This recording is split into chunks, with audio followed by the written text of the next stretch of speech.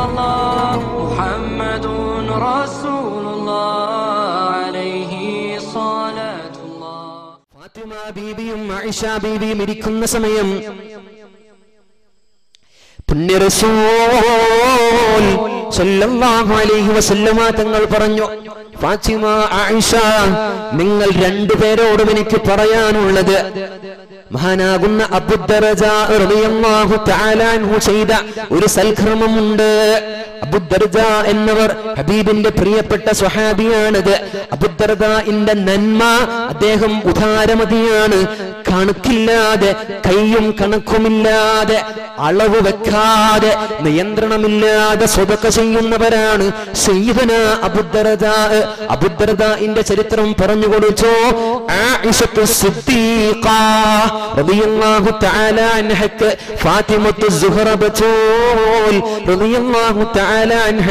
അവിടുത്തെ പ്രിയപ്പെട്ട പിതാവാണ് ഇത് പറഞ്ഞു കൊടുക്കുന്നത്.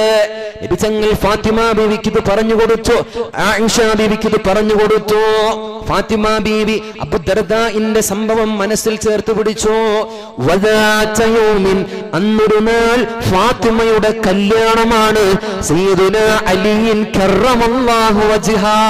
കറമല്ലാഹു വജ്ഹാ അലിയാര് തങ്ങളെ വിവാ- വൈവാഹികമായ ജീവിതത്തിലേക്ക് പുന്നാര നബിയുടെ പൊന്നുമോൾ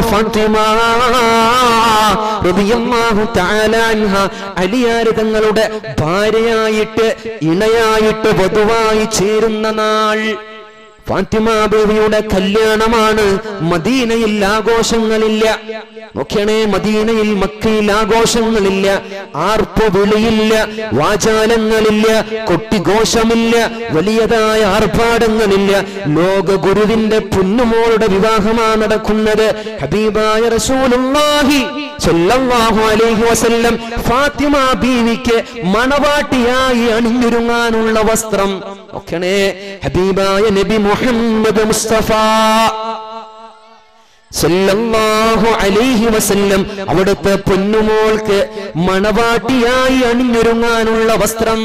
നമ്മുടെ മക്കളെ നമ്മൾ കല്യാണമായ നമ്മുടെ പെൺകുട്ടികളെ അന്തസ്സോടെയല്ലയോ പറഞ്ഞേക്കുന്നത് എങ്ങനെയാണോ മൂത്തവൾക്ക് കൊടുത്തത്? അതിൽ നിന്നും ഒന്ന് കൂടുതലായി നാലാളറിയുന്ന രീതിയിൽ അന്തസ്സോടെ എന്റെ പൊന്നുമോളെ കൈപിടിച്ചു കൊടുക്കണം. നമ്മുടെ അഭിമാനമാണത്. നമ്മളുടെ നമ്മളുടെ ഒരു ചെറുതായ സ്വാർത്ഥതയ എന്റെ പൊന്നുമോളെ അന്തസ്സോടെ വീട്ടിൽ നിന്നും പടിയിറക്കി പറഞ്ഞേക്കണം വാപ്പയുടെ ആഗ്രഹമാണത് മുഹമ്മദുൻ സയ്യിദുൽ അഅറാബി വൽ അജമി മുഹമ്മദുൻ ഖൈറു മൻ യംശി അലാ ഖദമി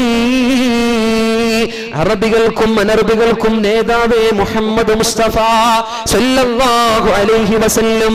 ഹബീബ നബി തങ്ങൾ ഭൂമിയിലൂടെ രണ്ട് കാലിൽ നടക്കുന്ന മാണിക്യ മുത്തേ നബി മുഹമ്മദ് മുസ്തഫ സല്ലല്ലാഹു അലൈഹി വസല്ലമ തങ്ങളുടെ കരളിന്റെ കരളായ പൊന്നുമോളുടെ മംഗല്യമാണ്.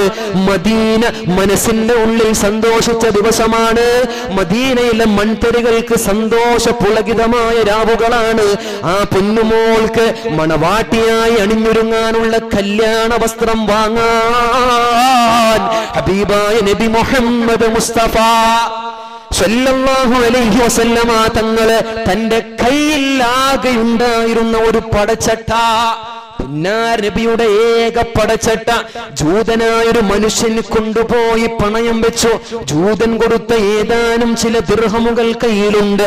അതുകൊണ്ട് വാങ്ങിക്കൊടുത്തു. തന്റെ പൊന്നുമോൾ കണിഞ്ഞൊരുങ്ങാൻ ഒരു പുതുമണവാട്ടിയായി നിൽക്കാൻ ലോകഗുരു ചെയ്തത് ഒരു ജൂതന്റെ അമുസ്ലിമിന്റെ അടുക്കൽ തന്റെ പടച്ചട്ട പണയം വെച്ചിട്ട് ഒരു ഒരു ഉടുപ്പ് വാങ്ങി കൊണ്ടുവന്നു കൊടുത്തു പൊന്നുമോൾക്ക്. ഫാത്തിമ ബീവി ഇത് അറിഞ്ഞിട്ടില്ല.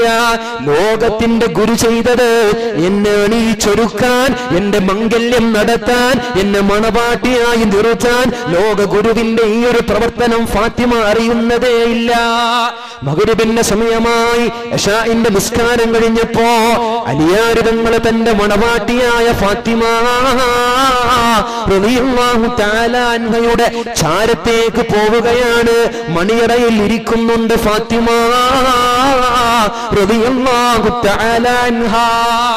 മണിയറയിൽ ഇരിക്കുന്ന ഫാത്തിമയുടെ ചാരത്തേക്ക് ഒരുപാട് സ്വപ്നങ്ങളും സന്തോഷവും ചേർത്ത് വെച്ചിട്ട് മഹാനായ അലിയാരിതങ്ങളെ നടന്നു ചെന്നിട്ട് വാതിൽ തുറന്നപ്പോ വജ്ഹാ. മണിയറയുടെ വാതിൽ തുറന്നപ്പോ മഹാനായ അലിയാരിതങ്ങൾ അത്ഭുതപ്പെട്ടു പോയി അള്ളാഹുവേ അള്ളാഹുവേ എന്താണ് ഈ കാണുന്നത്? എന്റെ ഭാര്യയായ എന്റെ നവവധുവായ ലോകഗുരുവിന്റെ പൊന്നുമോൾ പഴകിയ കീറിപ്പറഞ്ഞ ഒരു വസ്ത്രമാണോ ധരിച്ചിട്ടുള്ളത്? ആദ്യ തവണ കണ്ടപ്പോൾ മഹാനായ അലിയാരവങ്ങൾ ചോദിച്ചു ഫാത്തിമയോട് ഫാത്തിമ എന്തേ ഫാത്തിമ നിനക്ക് എന്നെ വേണ്ടയോ? എന്നെ വേണ്ടാതായോ? എന്നിൽ താല്പര്യമില്ലേ ഫാത്തിമ? പഴകിയ കീറിപ്പറിഞ്ഞ വസ്ത്രമാണല്ലോ പെണ്ണെ നീ ധരിച്ചിട്ടുള്ളത്. എന്തേ എന്നെ വേണ്ടുന്നുണ്ടോ? പറയണമേ ഫാത്തിമ. അലിയാരതങ്ങൾ അത്ഭുതപര തന്ത്രനായി ചോദിച്ച നേരം അവിടുത്തെ പൊന്നുമോൾ മുത്തിനബയുടെ പൊന്നുമോൾ ഫാത്തിമ. തങ്ങളോട് പറഞ്ഞു യാ അലിയേ അലിയാരെന്നവരെ എന്റെ ജീവിതത്തിന്റെ എന്റെ ജീവിതത്തിന്റെ കടിഞ്ഞാണ് ഏറ്റെടുക്കാൻ. എന്റെ മനസ്സിന്റെ ഒരു ഭാഗമായി മാറാൻ എന്റെ ജീവിതത്തിന്റെ പങ്കാളിയാവാൻ എന്റെ സുഖദുഃഖങ്ങൾ പങ്കുചേരാൻ വന്നവരെ എനിക്കങ്ങയെ വേണ്ടെന്നു പറയരുതേ. ഞാൻ ഇങ്ങനെയാണ് ഫാത്തിമ ഇങ്ങനെയാ. അലിയാരതങ്ങൾ പുണ്യനബിയെ വിളിച്ചു കൊണ്ടുവന്നു. ഹബീബിന് കാണിച്ചു ഫാത്തിമയെ അള്ളാഹുവിന്റെ റസൂലെ അങ്ങയുടെ പൊന്നുമോൾ ധരിച്ചിട്ടുള്ള വസ്ത്രമെന്ന് കാണുന്നില്ലേ? പഴകിയ കീറിത്തുറിഞ്ഞ കീറിപ്പറിഞ്ഞ വസ്ത്രമാണ് എന്തേ നബി അങ്ങയുടെ പൊന്നുമോൾ ഇങ്ങനെ ധരിച്ചത്? ഫാത്തിമ ബീവി അവിടുത്തെ പൊന്നുപ്പയായ മുഹമ്മദ് സല്ലല്ലാഹു അലൈഹി വസല്ലമ തങ്ങളോട് പറഞ്ഞു എന്റെ വാപ്പാ അള്ളാഹുവിന്റെ പ്രവാചകരെ എവിടെ ഫാത്തിമ നിന്റെ പുതുവസ്ത്രം എന്ന് ചോദിച്ചതിന്റെ മറുപടിയായി നബിയെ എന്റെ കല്യാണം നടന്ന് അസുറിന്റെ സമയമായപ്പോ ഒരു യാചകൻ എന്റെ വീട്ടിന്റെ മുറ്റത്ത് വന്നു എന്റെ കഥക മുട്ടി ഞാൻ കഥക തുറന്നു എന്നോട് ചോദിച്ചു നിങ്ങൾ മുത്തുനബിയുടെ മകളായ ഫാത്തിമയാണോ? ഞാൻ മറുപടി പറഞ്ഞു ബലാ ഞാനാണ് പുന്നാർ നബിയുടെ പൂമകൾ ഫാത്തിമ. എന്നോടാ യാചകൻ ചോദിച്ചു ഫാത്തിമ മൂന്ന് ദിവസമായി പട്ടിണിയാണ് ഫാത്തിമ. എന്തെങ്കിലും കഴിക്കാൻ വേണം വയറ് നിറക്കാൻ വല്ലതും വേണം. നിങ്ങൾ തന്നിട്ടില്ല എങ്കിൽ ഞാൻ ഇവിടെ കിടന്നു മരിച്ചു പോകും നിങ്ങളുടെ കതുക് മുട്ടിയാൽ ഹായിബായി പരാജിതനായി നിശ- നിരാശ്രയനായി ദുഃഖത്തോടെ ഖേദകരമായി മടങ്ങി പോകേണ്ടി വരില്ലെന്ന് ഇവിടത്തെ ആളുകൾ പറഞ്ഞതിന്റെ അടിസ്ഥാനത്തിലാണ് ഞാൻ നിങ്ങളുടെ വീടിന്റെ കതുക മുട്ടിയത് ഫാത്തിമ ബീവി അടുക്കളയിൽ ചെന്നു ഒന്നും കാണാനില്ല അവിടെ ഒന്നുമില്ല തന്റെ വീട്ടിന്റെ അടുപ്പിൽ പുക വന്നിട്ട് മാസങ്ങളായിട്ടുണ്ട് ഫാത്തിമ ബീവി ഒന്നാലോചിച്ചു എന്താ ഞാൻ ചെയ്യുക فأما السائل فلا تنهر. ചോദിച്ചു വന്നാൽ ഒരുവൻ നിങ്ങളുടെ മുമ്പിൽ കൈനീട്ടിയാൽ ഇല്ല എന്ന് പറയരുതേ തരില്ലെന്ന് പറയരുതേ അയാളെ മടക്കി പറഞ്ഞേക്കരുതേ ഹബീബിന്റെ പാഠമാണ് അമ്മൊരു നാൾ മഹാനായ അബുദർജാഹു താലാൻഹുവിന്റെ ചരിത്രം ഹബീബ് അഭിമാനത്തോടെ അന്തസ്സോടെ എന്നോടും ആയിഷ ബീബിയോടും ഹബീബ് പറഞ്ഞത് പൊന്നുമോൾ ഓർമ്മ വന്നു. അബുദർജാഹു താലാൻഹുവിന്റെ ചരിത്രം ഹബീബ് എത്രമേൽ അഭിമാനത്തോടെ സന്തോഷത്തോടെ പറഞ്ഞിട്ടുണ്ടോ? ഫാത്തിമ ചെയ്തത് താൻ അണിഞ്ഞിരുന്ന മണവാട്ടിയായ പുതുവസ്ത്രം ഊരിയെടുത്തിട്ട് കീറിപ്പറഞ്ഞ പഴകിയ വസ്ത്രം ധരിച്ചിട്ട് ആ പുതുവസ്ത്രം കൊണ്ടുവന്നിട്ട് തന്റെ യാചകന്റെ കയ്യിൽ കൊടുത്ത് പറഞ്ഞു ചന്തയിൽ കൊണ്ടുപോയിട്ട് ഇത് വിൽക്കുക. ഇതിന് പകരം നിങ്ങൾക്ക് കിട്ടുന്ന ദൃഹമുകൾക്ക് എന്താണോ വാങ്ങാൻ സാധിക്കുന്നത് അത് വാങ്ങി നിങ്ങൾ വയറ് നിറയ്ക്കണമേ എന്ന് ലോക ഗുരുവിന്റെ പൊന്നുമോൾ ഫാത്തിമ നബിയോട് ഈ സംഭവം പറഞ്ഞപ്പോ ഹബീബിന്റെ കണ്ണു നിറഞ്ഞുപോയി നബി തങ്ങൾ ചോദിച്ചു ഫാത്തിമ നീ മംഗല്യ പെണ്ണല്ലേ?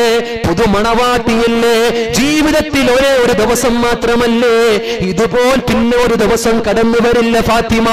നീയുമായിട്ട് അലിയന്റെ വിവാഹം നടന്ന ദിവസമല്ലയോ ഇന്ന്? ഇതുപോലൊരു ദിവസവും അവസരവും ഇനി മടങ്ങി വരില്ല. പിന്നെന്തിനാണ് എന്തിനാണ് എന്തിനാ പൊന്നുമോളെ നീ നിനക്ക് അണിഞ്ഞൊരുങ്ങാനുള്ള പുതുവസ്ത്രം തന്നെ സ്വതക്കാ ചെയ്തത്. നിനക്ക് ആ പഴകിയ വസ്ത്രം കൊടുത്തുകൂടെ. പൊന്നുമോളോട് അവിടുത്തെ പിതാവ് നബി മുഹമ്മദ് മുസ്തഫ സല്ലല്ലാഹു അലൈഹി വസല്ലമ പറഞ്ഞപ്പോ പൊന്നുപ്പാനെ കെട്ടിപ്പിടിച്ചിട്ട് അവിടുത്തെ പൊന്നുമോൾ പറഞ്ഞു യാ റസൂലല്ലാഹ് റസൂലേ അങ്ങൊരു നാൾ അബുദർദായിന്റെ ചരിത്രം അഭിമാനത്തോടെ ഈ മകളോട് പറഞ്ഞത് ഓർക്കുന്നില്ലയോ? അങ്ങ് അബുദർദായിനെ കുറിച്ച് ഇങ്ങനെ പറഞ്ഞെങ്കിൽ അങ്ങയുടെ ചോരയായി ഫാത്തിമ എങ്ങനെയാണ് നബിയെ അബുദർദായിനേക്കാൾ താഴെ നിൽക്കുക? എങ്ങനെ നബിയെ ഞാൻ കൊടുക്കും പഴകിയത്? അങ്ങല്ലയോ പഠിപ്പിച്ചത്? ലൻ തനാലുൽ ബിർറ ഹത്താ. തുൻഫിഖൂ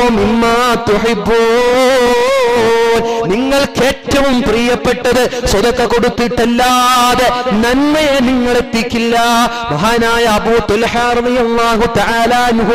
മദീനത്ത് ബൈറുഹ എന്ന് പറയുന്ന ഒരു തോട്ടമുണ്ട്.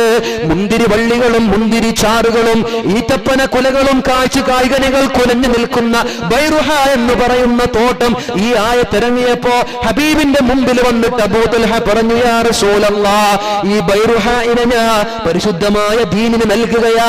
ഹബീബ് ചോദിച്ചു എന്തിനാണ് ഇങ്ങനെ ചെയ്യുന്നത്? അത് ലാഭമുള്ള മുതലല്ലേ.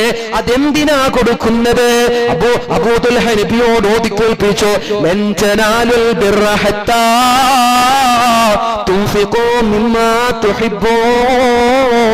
ഏറ്റവും ഇഷ്ടപ്പെട്ടത് എന്താണോ ദുനിയാവിൽ അത് കൊടുത്താൽ അള്ളാഹു ആഹ്റത്തിൽ അതിനേക്കാൾ പതിന്മടങ്ങ് നൽകുമല്ലോ നബിയെ ഫാത്തിമ ബീബി ഈ കഥ നബിയോട് പറഞ്ഞപ്പോ ആദരവായ പ്രവാചകർ നബി മുഹമ്മദ് മുസ്തഫ സല്ലല്ലാഹു അലൈഹി വസല്ലമ തങ്ങൾ തന്റെ പുല്ലുമോളെ ചേർത്ത് പിടിച്ചിട്ട് നെറ്റിയിലൊരു മുത്തം കൊടുത്തു. മുഹമ്മദുൻ സയ്യിദുൽ അഅറാബി വൽ അജമി.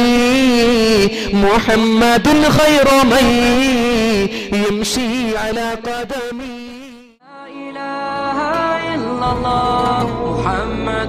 رسول